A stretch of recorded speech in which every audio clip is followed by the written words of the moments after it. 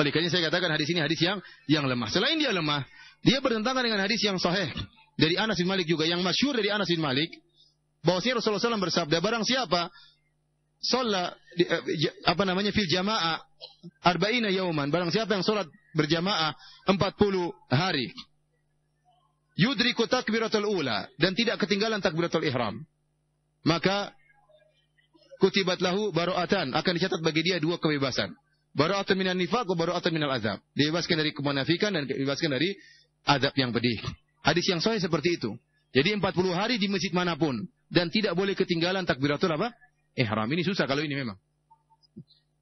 Antum bisa 40 hari, 5 waktu nggak ada bolongnya dan selalu dapat apa? Takbiratul ihram. Ya kalau antum jadi imam mungkin bisa. Tapi kalau jadi makmum susah. Ya susah dan susah. Kita sering berusaha, terkadang pada hari ke-39 gagal. Terkadang hari ke-35 gagal. Tapi 40 hari tidak pernah ketinggalan ini susah dan ini hadis yang yang sahih. Oleh karena saya katakan hadis tentang arba'in, hadisnya lemah tidak bisa dijadikan dalil. Kita berusaha sholat sebanyak-banyaknya di Masjid Nabawi. Ingat kata Nabi SAW hadis yang sahih, Salatun fi masjid hadha khair min alfi salatin fi masiwahu. Salat di masjidku ini lebih baik seribu kali lipat daripada masjid-masjid yang lainnya. Ya seribu kali lipat lebih banyak. Kata para ulama termasuk salat fardu maupun salat apa? Sunnah. Dan antum ingat, ini pahala yang besar. Salat di Masjid Istiqlal cuma satu pahalanya. Salat Masjid Demak, Masjid Kudus, Masjid Ampel, Masjid Agung pahalanya cuma satu. Kalau antum sholat satu hari semalam di sini, lima waktu, seperti antum sholat seribu hari di Masjid Istiqlal. Antum bisa nggak sholat seribu hari tidak pernah ketinggalan jamaah? Susah. Maka cukup dengan satu hari di sini seperti seribu hari di Istiqlal.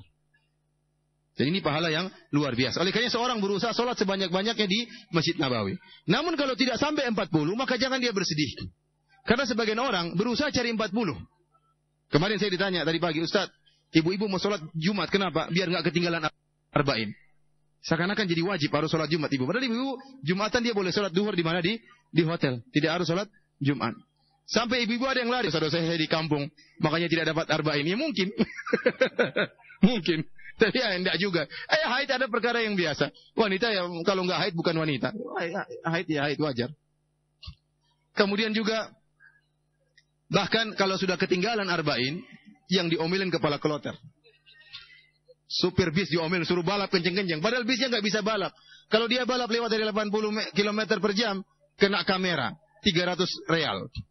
Lima kali kamera 1500 real. Jadi ya, dia stres juga mau kenceng gimana. Dipaksa sama jemaah Indonesia. Ayo cepat, ayo cepat nanti ketinggalan arba'in. Kasihan dia. Kadang pilotnya juga yang salah. Banyak yang disalahkan gara-gara tidak dapat arba'in. Kemudian yang orang sudah 40, dia tidak mulai ke Masjid Nabawi. Sudah 40, saya nggak mau 41. Oleh saya katakan seorang berusaha sholat sebanyak-banyaknya di Masjid Nabawi, tetapi hadis Arba'in adalah hadis yang lemah, semakin banyak semakin baik ya.